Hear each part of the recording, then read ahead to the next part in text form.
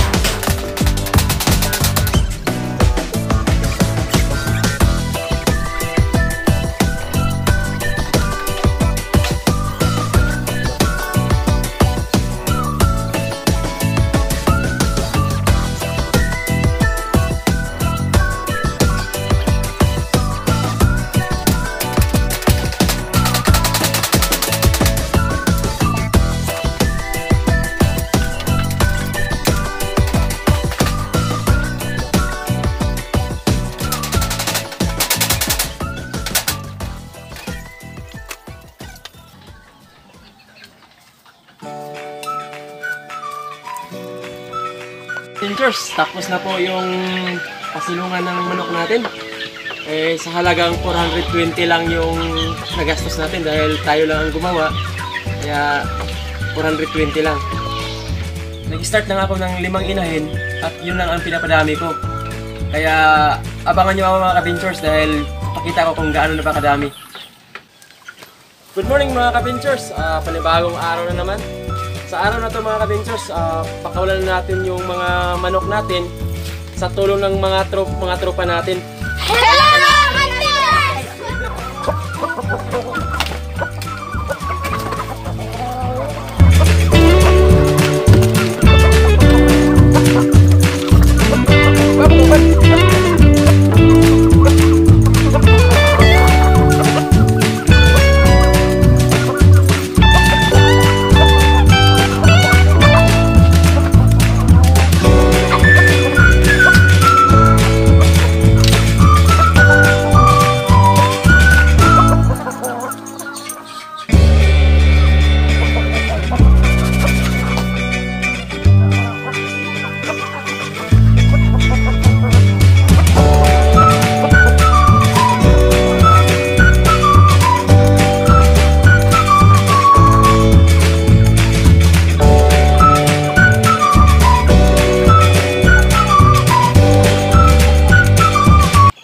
Sa hindi pa nakapag-subscribe sa YouTube channel ko, please subscribe na kayo at paki-hit na rin yung notification bell para updated kayo sa lahat ng mga video ko.